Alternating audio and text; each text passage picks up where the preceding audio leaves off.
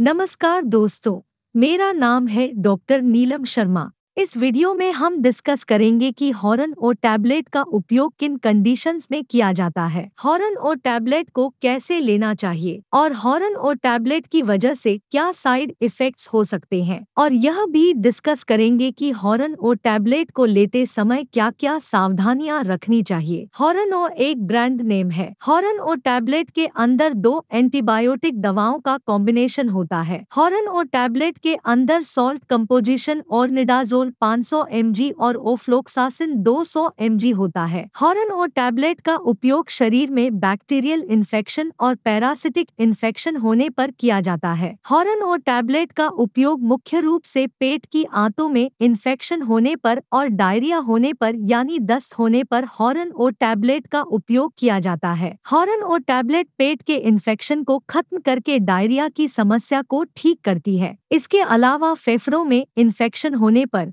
दांतों या मसूड़ों में इन्फेक्शन होने पर, जोड़ों या हड्डियों में इन्फेक्शन होने पर, पेशाब में इन्फेक्शन होने पर, पेट में इन्फेक्शन होने पर, महिलाओं की वजाइना में इन्फेक्शन होने पर और कान, नाक, गले या त्वचा पर इन्फेक्शन होने पर भी डॉक्टर हॉर्न और टैबलेट को लेने की सलाह दे सकता है। इसके अलावा त्वचा पर कोई फोड़ा फुंसी होने पर, त्वचा पर कोई घाव होने पर या त्वचा पर कोई इन्फेक्शन होने पर भी डॉक्टर हॉर्न और टैबलेट को लेने की सलाह दे सकता है। शरीर में इन्फेक्शन होने पर बुखार हो सकता है। इसलिए बुखार होने पर भी डॉक्टर हॉर्न और टैबलेट को लेने की सलाह दे सकता है। इसके अलावा भी बहुत सी ऐसी कंडीशंस है, जिनमें आपका डॉक्टर हॉर्न और टैबलेट को लेने की सलाह दे सकता है। साइड इफेक्ट्स की बात करें तो वैसे तो ज़्यादातर व्यक्तियों में हॉर्न और टैबलेट की वजह से कोई साइड इफेक्ट्स नहीं होते हैं। लेकिन कुछ परसेंट व्यक्तियों में हॉर्न और टैबलेट की वजह से कुछ साइड इफेक्ट्स हो सकते हैं। जैसे उल्टी आना,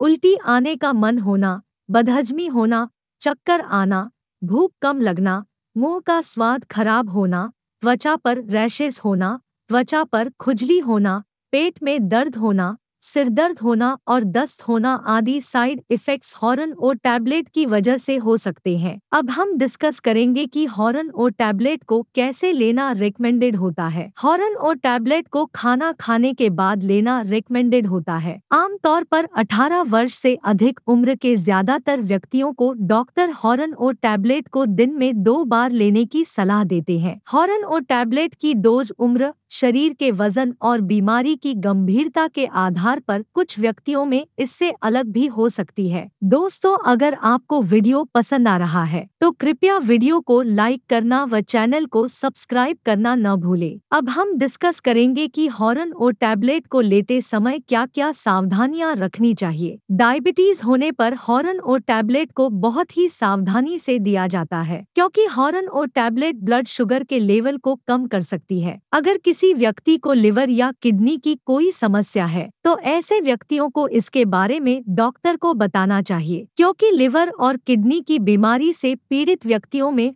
हॉर्न और टैबलेट की डोज घटानी पड़ सकती है। हॉर्न और टैबलेट को केवल उतने समय के लिए ही लेना चाहिए, जितने समय के लिए आपके डॉक्टर ने हॉर्न और टैबलेट को लेने की सलाह दी है, क्योंकि लगातार ज़्यादा लंबे समय तक हॉर्न और टैबलेट को लेने से एंटीबायोटिक रेजिस्टेंस हो सकता है, और एंटीबायोटिक रेजिस्टेंस होने पर वो एंटीबायोटिक दवा आपके शरीर में काम नहीं करेगी, और हॉर्न और टैबलेट को अपनी मर्ज़ी से पहले बंद कर देने से आप आपका इन्फेक्शन वापस आ सकता है। इसलिए आपको हॉर्न और टैबलेट को आपके डॉक्टर द्वारा बताए गए समय तक पूरा लेना चाहिए। प्रेग्नेंट महिलाओं के लिए हॉर्न और टैबलेट का सेवन करना रिकमेंडेड नहीं है। अभी इसके बारे में पर्याप्त डेटा अवेलेबल नहीं है कि हॉर्न और टैबलेट स्तनपान करा रही महिलाओं को नुकसान पहुंचाती है। या नहीं। इसलिए ज़्यादातर डॉक्टर स्तनपान करा रही महिलाओं को हॉर्न और टैबलेट को न लेने की ही सलाह देते हैं। वीडियो को देखने के लिए आपका धन्यवाद। अगर आपको वीडियो पसंद आया तो प्लीज़ वीडियो को लाइक कर देना, चैनल को सब्सक्राइब कर लेना और अगर आपका हॉर्न और टैबलेट से संबंधित कोई प्रश्न है